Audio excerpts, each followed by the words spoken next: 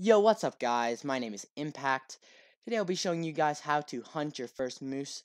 I'll be going over what gun you need to take down your first moose, all the way to where to find moose in Way of the Hunter. But before we begin, make sure to smash that like button if you do find yourself enjoying this one. Subscribe for more future content just like this.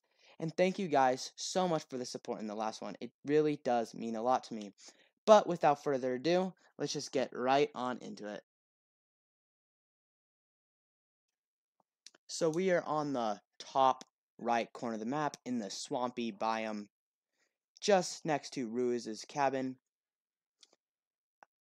And I have some moose just over this ridge.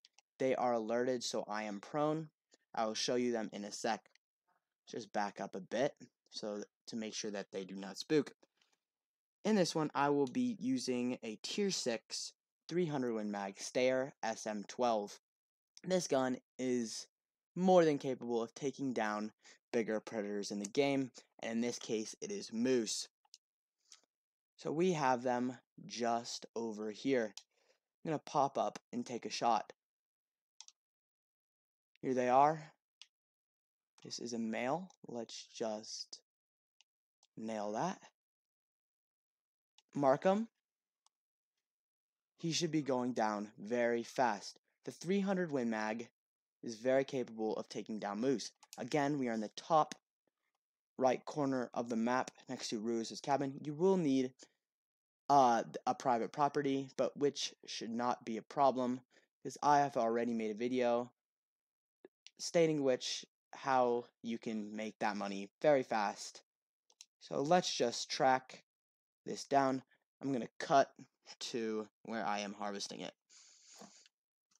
So here is our buck. This took under like a minute, 45 seconds to track this guy down. It took him down almost immediately. You will claim him. That was a right long shot. Moose used to actually produce thousands of cash.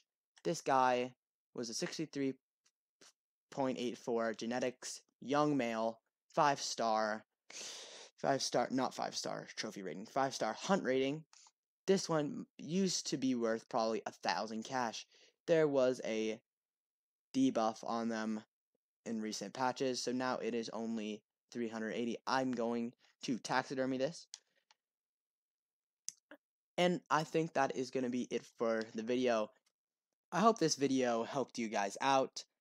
If you did, if you did end up enjoying this video, make sure to smash that like button and subscribe for more future content just like this. But I will see you guys in the next one.